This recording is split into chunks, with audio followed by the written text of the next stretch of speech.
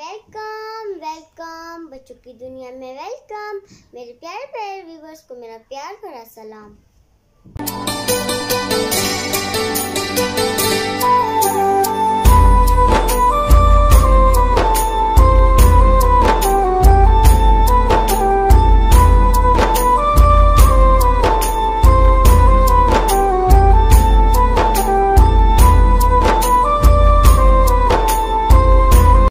सो ये stuffing ready करने के लिए हमें जो चीज़ें चाहिए तो आलू लेंगे हम लोग हाफ़ के जी और इससे पहले हम लोगों ने बॉईल कर लिया और अब इसके छिलके उतार लिए जैसा कि आप लोग देख सकते हैं।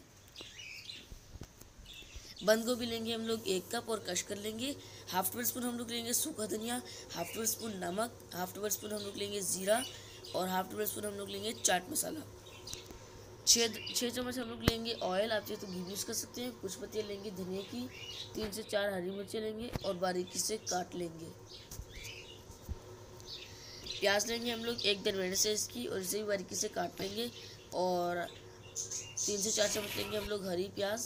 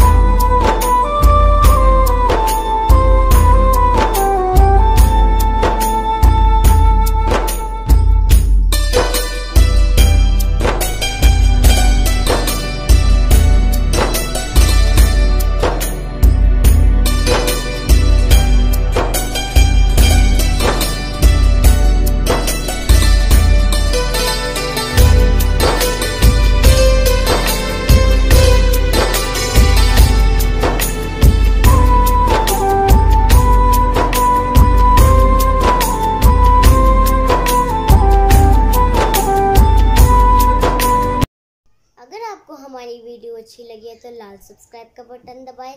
बराबर में जो आइकॉन है, उससे आने वाली मेरे हर रस पर हर वीडियो सबसे पहले आप तक पहुंचेगी। अल्लाह हाफिज।